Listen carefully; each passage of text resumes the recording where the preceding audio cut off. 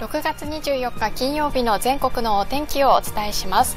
日本海上に低気圧が発生する影響により日本海側を中心に雨の降りやすい空模様となります。特に低気圧中心から近い北海道や東北北部では雨足が強まり大雨に注意が必要です。道路の冠水や低地の浸水にお気をつけください。太平洋側は雲が広がるものの午後は日差しが届くところが多くなります。内陸部を中心に気温が上がり猛暑日となる予想です。暑さ対策は十分に行いましょう。最新の気象情報はお天気アプリウェザーニュースからご確認いただけます。ぜひご利用ください。